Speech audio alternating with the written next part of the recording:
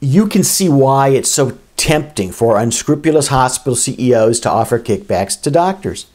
For example, take a look at one of my blog posts at advisorylawgroup.com dated March 7, 2016. It's entitled Physician is 10th Person Found Guilty in Kickback Scheme, and it reports on the conviction of Dr. Venkaswara Kuchipudi, the 10th person found guilty for accepting kickbacks in violation of the federal anti kickback statute from the now closed Sacred Heart Hospital in Chicago. That's because physicians generate huge amounts of referral business for hospitals. A study by the recruitment firm Merritt Hawkins reported that a physician's referrals are worth, on average, around $1.5 million a year in net revenue to a hospital. Surgical specialists drive even more profit to a hospital.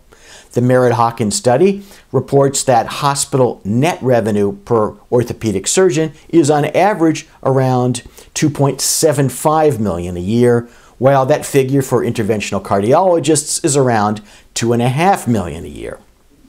The physician who tries to monetize the value of those referrals by way of a kickback, whether in cash, free services, or so on, will sooner or later be joining the Sacred Heart Hospital felons in the pokey. The legal alternative, enabling a physician to share in facility revenues, is through development, usually in concert with other physicians, of an ambulatory surgery center, an ASC. Although ASC investment usually makes sense for surgeons with a significant volume of procedures that can be performed in an outpatient setting, there is, contrary to commonly held belief, no restriction, no absolute restriction on investment by non surgeons. There are, of course, significant AKS concerns at play in the legal structure and operation of any ASC.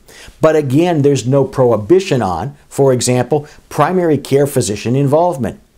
As more and more cases move from the hospital setting to the ambulatory setting, there's a growing opportunity for physicians to participate in facility fees via investment in ASCs. Making money is not yet a crime. Paying kickbacks is, so why not just make money?